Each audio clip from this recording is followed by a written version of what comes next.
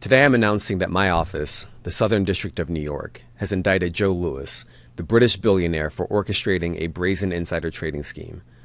We allege that for years, Joe Lewis abused his access to corporate boardrooms and repeatedly provided inside information to his romantic partners, his personal assistants, his private pilots, and his friends. Those folks then traded on that inside information and made millions of dollars in the stock market because thanks to Lewis, those bets were a sure thing. Now, none of this was necessary. Joe Lewis is a wealthy man. But as we allege, he used inside information as a way to compensate his employees or to shower gifts on his friends and lovers. That's classic corporate corruption. It's cheating, and it's against the law. Laws that apply to everyone, no matter who you are. That's why Joe Lewis has been indicted and will face justice here in the Southern District of New York. Thank you.